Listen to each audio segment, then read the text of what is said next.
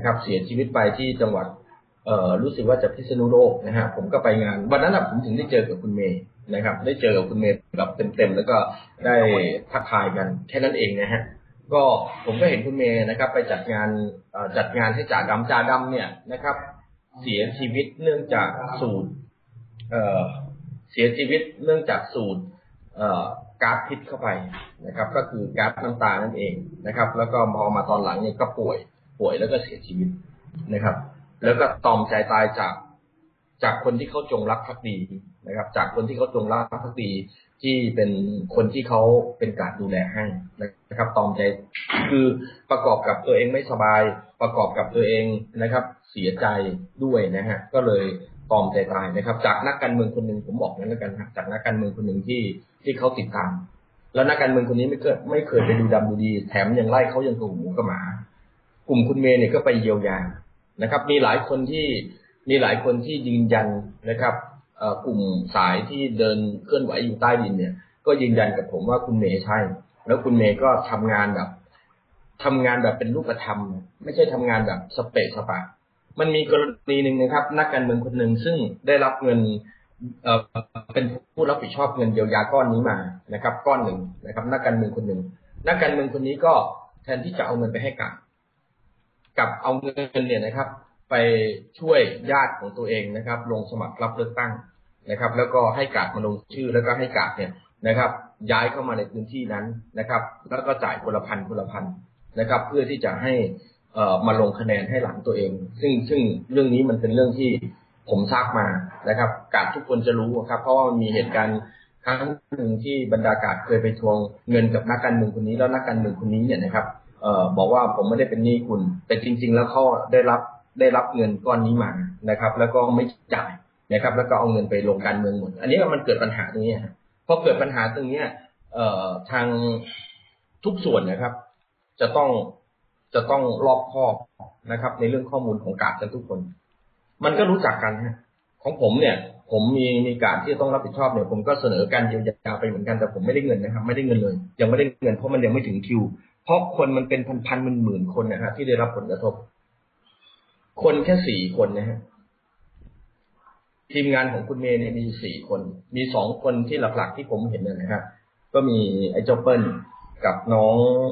เอ่อออมนะครับสองคนเนี่ยที่ผมเห็นแล้วก็คุ้นตามมากเลยฮะก็เด็กที่จะไปไหนมาไหนกับคุณเมย์ตลอดก็คือมีแค่ แค่แค่นี้แหละฮะ นะครับ แล้วก็คอยจดคอยดูคอยเช็คกันเนี่ยฮะก็บางทีเขาก็มาถามข้อมูลจากผมว่าไอ้นี่ใช่ไหมไอ้นี่ใช่ไหมก็มีบ้างนะฮะซึ่งเราเราก็บอกแล้วว่าไอ้คนทำงานเนี่ยมันทำงานหนักนะฮะไหนจะต้องเขียนไหนจะต้องเช็คไหนจะต้องเดินทางไปดูว่าเออมันเกิดอะไรขึ้นนะครับ หลังจากที่เกิดการเยียวยาแต่มันเยียวยาไปไม่ถึงหรอกครับ ก็คือว่าใช้ระยะเวลามันเป็นปีอยู่แล้วฮะที่จะเช็คแต่ละคนแต่ละคนเพราะว่ามันกระจัดกระจายต้องเดินทางไปจังหวัดนู้นเดินทางไปจากนี้จังหวัดนี้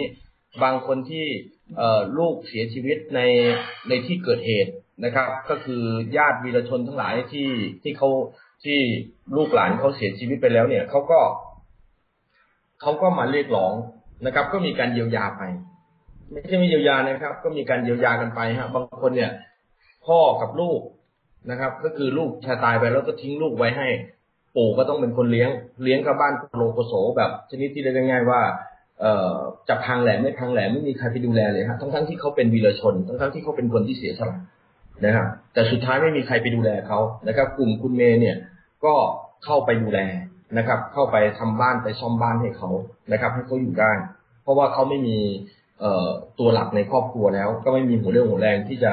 เออไม่มีใครที่จะทำมาพ่อก็แก่นะครับ แถมยังมีลูกน้อยอีกนี่แหละฮะคือคนที่พูดเนี่ย คือคนที่ไม่ได้ทำงาน พูดตามไอ้นี้ว่าไอ้นี้ว่าไอ้นี้ว่าก็พูดไปตามนั้นนะมันก็เลยเกิดปัญหาเพราะมันเกิดปัญหาเรื่องนี้นะครับ มันก็เลยส่งผลกระทบกับหลาย ๆ ส่วนนะครับ ผลกระทบว่าเฮ้ยไอ้คนนู้นก็แคลงใจคนนี้ก็แคลงใจ ผมก็ยังแคลงใจเลยนะครับ ผมก็ยังแคลงใจแต่พอผมนะครับ ไปดูผมเนี่ยไปดูด้วยตัวเองนะครับ ว่าเขาทาจริงไหมว่าเขาลุยจริงๆไหมไม่ใช่เหมือนไอ้ที่ผ่านมาก็คือเป็นกระแสกระแสกระแสเสร็จแล้วก็หายเงียบไป แต่อันนี้ทำจริงครับผมเห็นคุณเมย์ทำงานอย่างจริงจังครับแล้วก็คิดดูว่าสามคนสี่คนเนี่ยนะครับ ที่ไปในรถเนี่ยนะครับ มีเอ่อมีคนติดตามไปด้วย ประมาณอารถคันหนึ่งประมาณห้าคน วิ่งขึ้นล่องต่างจังหวัดวิ่งขึ้นวิ่งลงนะครับชนบุรีกรุงเทพเอ่อชนบุรี อีสานเหนือใต้ไปหมดทุกที่ฮะต้องไปดูไปเช็คเอง ไปดูสภาพจริง ๆ ว่าเป็นแบบไหน คือเขาไม่มั่วไงฮะ คนอื่นเนี่ยไม่ใช่หรอกฮะคนอื่นเนี่ย เรียกเข้ามารับเงิน เรียกเข้ามารับเงินแต่เงินนั้นก็ไม่ได้จ่ายเต็มที่นะไม่ได้จ่ายอะไรเลยเรียกมาลงชื่อเฉยบางทียังไม่ได้จ่ายเงิน แล้วก็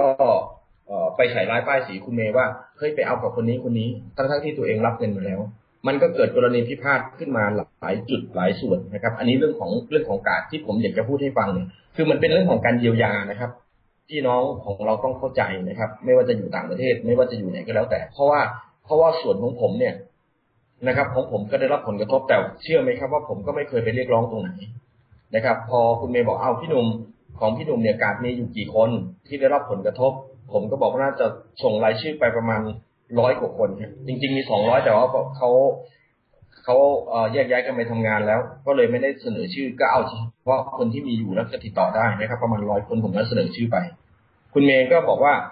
พี่หนุ่มมันต้องรอตามคิวนะ มันไม่มีสิทธิพิเศษใดๆสิ้นเพราะคนอื่นเขาก็ได้รับความลำบากอยู่ผมก็บอกไม่เป็นไรคุณเมย์เพราะยังไงเนี่ย ผมก็ถ้าได้ก็ดีไม่ได้ก็ไม่เป็นไร ก็ไม่เห็นจะมีปัญหาอะไรเลย คุณเมย์ก็ให้รอตามคิวนะครับ ผมก็โทรไปถามไอ้เจ้าออมบ้างไอ้เจ้าเปิ้ลบ้างนะครับ แล้วแต่สถานะแต่คนแต่พวกเนี่ยนะครับ เด็กๆสองสามคนเนี่ยนะครับทำงานอย่างหนักทำงานหนักมากทำงานหนักชนิดที่เรียกง่าย ๆ ว่าจะต้องตามทุกคนนะฮะ ก็พูดง่ายๆว่า เอ่อกาดทุกคนจะรู้จักนะครับสามคนนี้เป็นอย่างดีไอ้สองคนนี้เป็นอย่างดีนะครับ ไอ้เจ้าออมกับไอ้เจ้านี่นะครับ ไอ้เจ้าเปิ้ลเนี่ย ทีนี้ ไอ้เหตุการณ์เหตุการณ์ที่มันเกิดขึ้นเนี่ยนะครับ ที่มีคนมากล่าวว่ามันหลายเรื่องไม่ใช่แค่เรื่องเดียวนะครับ จริง ๆ แล้วคุณเมย์ก็เป็นคือผมก็ไม่รู้หรอกครับว่าคุณเมย์เป็นใคร เพราะผมก็ไม่เคยไปถามรายละเอียดคุณเมย์ว่าคุณเมย์จะมาจากไหนอะไรยังไง แต่สิ่งที่ผมเห็นก็คือคุณเมย์ได้ทำงาน คือเป็นคนลงมือทำอะมันเหมือนกันฮะ ก็คือเหมือนภาคปฏิบัติกับภาคทฤษฎี ไอ้คนที่พูดทฤษฎีเนี่ย ก็คือไม่รู้เรื่องเลยว่ามันเกิดอะไรขึ้น ก็พูดไปร้อยแปดพันเก้าพูดไปตามไอันนี้ หรืออาจจะไม่ชอบกันส่วนตัวหรืออะไรก็แล้วแต่ มันเป็นการโจมตีกันไปโจมตีกันมา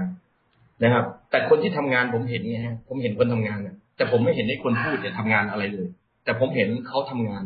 แล้วก็มุ่งมั่นที่จะทำงาน แล้วก็เป็นรูปธรรมด้วยครับทำแบบเป็นรูปธรรมแล้วก็ทำแบบเป็นระบบ ซึ่งผมชอบระบบไงฮะ ที่ผมชอบพันตำรวจโทรดรทศกินเพราะว่าผมชอบระบบฮะผมชอบระบบการบริหาร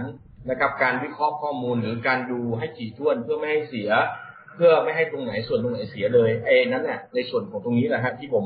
ที่ผมชอบ แล้วคุณเมย์เขาก็วางระบบของเขาเขาก็ต้องตรวจสอบตรวจเช็ค เพราะว่าเงินที่ได้มามันจะต้องถึงทุกคน แต่ว่าไม่ใช่ว่าทุกคนที่นำเสนอจะได้หมดนะครับ คนนี้ไม่ใช่ ไอ้คนนี้แอบอ้างชื่อ ไอ้คนนี้มาจากพรรคพวก ดึงมาอะไรต่างๆนานา มันก็ค่อนข้างที่จะค่อนข้างที่จะเอ่อให้เรามองเห็นว่ามันมันไม่ใช่สิ่งที่ มันไม่ใช่สิ่งที่ เอ่อจะทำได้ง่าย ๆนะครับ มันเป็นเรื่องยากมากอะที่จะทำผมมองยังโอ้โหทำกันได้ไงแค่สามคน ทีมงานอย่างเงี้ยมันต้องเป็นสิบคนนะฮะ ถึงจะทำเสร็จได้ แต่ว่าถามว่างบประมาณมาจากไหนงบประมาณมันพอเหรอครับมันฟอลโล่พอเหรอมันก็ไม่พอถูกไหมฮะเพราะฉะนั้นเนี่ยมันก็ค่อยๆทำค่อย ๆทำส่งรายชื่อไปค่อยๆทำค่อยๆทำคนนี้เยียวยาแล้วคนนี้เยียวยาแล้ว อันนี้คือเรื่องของการเยียวยาฮะ อันนี้ต้องบอกว่าเป็นน้ำใจฮะ ผมก็ต้องบอกว่าวันนี้เนี่ยผมขอบคุณนะครับ ผู้ใหญ่ที่ดูไบที่ดูแลพวกเขาบรรดากาศทั้งหลายเนี่ยเขาก็บอกว่าก็ขอบคุณมากฮะผมบอกได้เลยฮะเขาขอบคุณฮะแล้วถ้าเกิดเราไม่ดูแลเขาเลยล่ะฮะ มันจะเกิดอะไรขึ้นเละเทะกันไปหมดวันนี้ก็เละเทะฮะไอคนไม่ได้ทำไปพูดฮะไอคนที่ทำพูดอะไรไม่ได้ ถูกโจมตีอย่างเดียวถูกกล่าวหาอย่างเดียวหลายเรื่องฮะโดยเฉพาะระบบ ระบบที่สำคัญที่สุดเนี่ยนะฮะ ผมถึงบอกว่า ไอ้คนที่ไม่ได้ทำเนี่ยแม่งพูดฮะแต่คนบริหารสิครับหนักสุดฮะทำไงถึงจะให้การอยู่ได้อย่างเสถียรภาพ อยู่ได้โดยนะครับ มีอาชีพ เพราะได้ชื่อว่าเป็นนบช ได้ชื่อว่าเป็นกาดนบช หรือลูกถูกนะครับ ถูกจับถูกตามไล่ล่าจากฝ่ายตรงข้ามเนี่ยคุณคิดว่าคุณจะไปทำงานที่ไหนได้ คุณคิดว่าใครเขาจะให้ทำงานฮะ ไอคนพูดเดี๋ยมันไม่รู้ไงฮะ คนพูดมันก็หลับหูหลับตาพูดอย่างเดียว แต่ไอคนที่ไปดูมันต้องดูว่า เออจะเลี้ยงให้ยังไงให้เขาเกิดประสิทธิภาพสูงสุด จะเลี้ยงยังไงให้เขาอยู่ได้ เพราะเขาไม่สามารถไปทำงานที่ไหนได้กาดเนี่ยนะครับ ผมบอกได้เลยว่าแต่ละคนแต่ละคนเนี่ยอีโก้ก็สูงฮะพอได้ชื่อว่าเป็นคนเสื้อแดงได้เป็นกาดเสื้อแดงอีโก้แม่งสูงทั้งนั้นนะฮะมันไม่เคยยอมใครอยู่แล้วฮะคือมันมีความเสรีภาพของตัวเองสูงมากครับ ติสต์แตกอะฮะ ถ้าพูดถึงถ้าเป็นประเภทไหนก็คงจะเป็นประเภทติสต์แตกฮะคือกูไม่ฟังใครอะ กูไม่สนกูมาต่อสู้ประชาธิปไตย ถ้ามึงไม่ให้กูฟังเสื้อแดงกูก็ออกแม่งเลย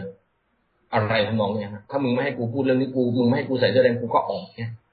ปกตินี่ character ของคนเสื้อแดงก็จะเป็นอย่างนี้คือคือไม่ไม่ค่อยฟัง ไม่ค่อยฟัง คือมีความคิดเป็นคนของเป็นของตัวเองสูงฮะแล้วมีอุดมการณ์สูงมาก เพราะฉะนั้นการที่มีอุดมการสูงเนี่ย มันเลยเข้ากับใครค่อนข้างลำบาก หรือมองเห็นแล้วก็รู้สึกลำคาญไอ้คนไม่หูไม่อือแม่งไม่กระเตื้องแม่งไม่กระตือรือร้นที่อะไรเลยบ้านเมืองจะพังอยู่แล้วบ้านเมืองแม่งถูกไอ้พวกอามาตมันกอบโกยไปขนาดไหน มึงนี่ไม่ทำหาอะไรเลยครับ อยู่เฉยๆกอบโกยผลประโยชน์อย่างเดียวมันก็เกิดการทะเลาะเบาแวงก็เลยร่วมไม่สามารถร่วมงานกับใครได้ อันนี้เป็น character เฉพาะของคนเสื้อแดงเลยนะฮะ ก็ผมว่า น่าจะเป็นเลือดกรุ๊ปเอบีมั้งฮะคือรู้สึกว่ามันจะบ้าบ้ามากครับคนเสื้อแดงจะเป็นพวกประเภทกล้าได้กล้าเสีย แล้วก็เป็นประเภทแบบปากกล้านะครับ ไม่ใช่ปากกล้าขาสั่นนะครับ ปากกล้าจริงๆครับมากูก็ซัดกับมืออะไรทำนองนั้นนะมันเลยมีบุคลิกที่ไม่สามารถเข้ากับใครได้ เมื่อไม่มีบุคลิกที่ไม่สามารถเข้ากับใครได้เนี่ย จึงหางานยาก ประกอบกับว่า ทางคุณเมย์เนี่ยเคยบอกผมว่ามันจะต้องคิดแบบบูรณาการ แล้วตอนนี้คิดหาอาชีพให้เขาบางคนก็รวมกลุ่มกันได้ประมาณสักร้อยคนนะครับ รวมกลุ่มกันได้ร้อยคน พอรวมกลุ่มกันได้ร้อยคนก็ไม่รู้จะทำอะไร จะไปเป็นรอรองปลัดอำเภอหรือว่าถ้าผมเรียกรองปลัดอำเภอแต่ว่าจริง ๆ ก็รอปภเนี่ยมันก็ไม่ได้ครับมันก็ คือมันชอบอิสระเอาง่ายๆชอบอิสระแล้วกันฮะก็ ไม่ไปเป็นไม่ไปไปเป็นรปภไปเป็นยามอะพูดง่ายๆฮะคือมันก็ต้องมีศักดิ์ศรีกันบ้างแหละว่าเฮ้ยอย่าให้ไปเป็นยามแบบนั้นเลยครับ มันทุเรศฮะเขาก็เลยนำเสนอมาว่าถ้างั้นขอตั้งบินมอเตอร์ไซค์ได้ไหมขอตั้งวินมอเตอร์ไซค์ในวินที่ไม่มีใครดูแลไม่มีใครอะไรอย่างนี้นะฮะก็ขอตั้งวิน มันก็ get ไอเดียขึ้นมานะครับ คุณเมย์เขาคงจะ get ไอเดียขึ้นมา ก็เลยตั้งวินมอเตอร์ไซค์ให้ร้อยคันก็ร้อยคนใช่ไหมฮะ ก็ตั้งวินมอเตอร์ไซค์ให้ทุกคนเนี่ยนะครับ ไปไปผ่อนมอเตอร์ไซค์แล้วก็เอามาวิ่งวินมอเตอร์ไซค์แต่ทีนี้การทำวินมอเตอร์ไซค์ไม่ใช่เรื่องง่ายฮะเพราะมันมีมาเฟียวินมอเตอร์ไซค์ยังมีสมาคมวินมอเตอร์ไซค์อยู่นะครับ ซึ่งก็ก็เกิดปัญหากันว่า ไปตั้งวินนะครับ ซ้อนกันขึ้นมา ฝั่งซ้ายกับฝั่งขวาจริงๆมันก็ตั้งได้ครับ แต่ว่าไอ้มาเฟียที่ ที่มันตั้งวินเนี่ย มันไม่พอใจนะครับ ก็เลยมาหาเรื่องก็เลยเกิดเรื่องทะเลาะเบาแหวงกันจนมาเป็นข่าวเป็นอะไรเนี่ยฮะหาว่าเป็นหาว่าคุณเมย์เป็นมาเฟียอะไรต่างๆนะจริงๆมันไม่ใช่มาเฟียหรอกฮะคือไอ้มาเฟียเนี่ยมันไม่ให้ตั้ง มันจะตั้งของมัน แต่เราจะตั้งเนี่ยนะครับ ที่เราจะตั้งเนี่ยไม่ใช่เพราะอะไร เพราะมันเป็นนะครับ บริเวณที่จะสามารถประกอบสมาอาชีพได้ ให้คนที่ต่อสู้พูดง่ายให้คนที่ต่อสู้ คือสมาคมวินมอเตอร์ไซค์เนี่ยเขาก็เคยเข้าร่วมการชุมนุมกับคนแสดงนะฮะ แต่ว่าไอ้คนอื่นเนี่ยนะครับ ไม่ได้มาไงฮะ ก็คือมันเป็นเรื่องของผลประโยชน์ ทีนี้การตั้งวินมอเตอร์ไซค์เนี่ย มันก็มีค่าหัวคิวตำรวจรีดไถอะไรต่างๆ มีหมดแล้วฮะ ก็เลยไปขอว่าเอาอย่างนี้ได้ไหมคนพวกนี้เนี่ย เสียสละเพื่อชาตินะครับ ไปต่อสู้นะครับ แล้วได้ผลกระทบเนี่ยนะครับ ขออนุโลมกันหน่อยได้ไหมนะครับ ให้พวกเขาได้ประกอบสัมมาชีพดีกว่าให้เขาไปเป็นโจรนะครับ ก็มีการเจรจากันแบบนั้น ซึ่งทางเจ้าหน้าที่ ก็ไม่ค่อยจะยอมแหละเจ้าหน้าที่ไม่ยอม เพราะว่ามึงมามึงมาถิ่นกูกูก็จะไม่ให้มึงก็เลยมีการล็อบบี้กันนะครับล็อบบี้กันในพื้นที่นะครับ พอล็อบบี้ก็เลยล็อบบี้ไปยังผู้ใหญ่ด้วยนะครับอาผู้ใหญ่ก็เจรจาแล้วก็ให้ตั้งได้ แต่นี้มันก็มีคนไปฟ้องไปฟ้องกับผู้ใหญ่ที่ดูไบว่าคุณเมย์เนี่ย มาเป็นมาเฟีย มาใช้อิทธิพลอะไรต่างๆนานาทั้งทั้งที่เจตนารมณ์คือ ให้การมันมีอาชีพได้ทำมาหากิน เพราะมันเข้ากับใครไม่ได้ มันควรที่จะวิ่งมอเตอร์วินเอ่อมันควรที่จะขี่มอเตอร์ไซค์แล้วก็ไปส่งนะครับ ผู้โดยสารก็แค่นั้นแหละครับ ถ้าจะไปขับแท็กซี่ มันก็ไม่มีเงินไปดาวแท็กซี่ฮะมันใช้เงินมากกว่า แต่มอเตอร์ไซค์นี่มันง่ายสุดเขาก็เลยทำแบบนี้ อันนี้คือเกิดปัญหา ทีนี้เรื่องของเรื่อง เรื่องของเรื่องมันมีอยู่เรื่องหนึ่งครับ เรื่องของการโยกย้ายนะครับ เรื่องของการโยกย้ายตำรวจนะครับ ในระดับผู้กำกับแล้วกัน ปัญหาคือผู้กำกับเนี่ย คนที่อยู่ในพื้นที่เดิมเนี่ยนะฮะในเขตปริกรุงเทพเอ่อในเขตปริมณฑลแล้วกันฮะผู้กำกับคนนี้เนี่ยนะครับเอ่อผู้กำกับคนคนที่อยู่เนี่ย ไม่ใช่คนเสื้อแดง ไม่เอาอะไรเลยกูไม่ช่วยไม่หาอะไรสักอย่างเลยครับทีนี้เราก็อยากย้ายผู้กำกับที่เป็นคนของ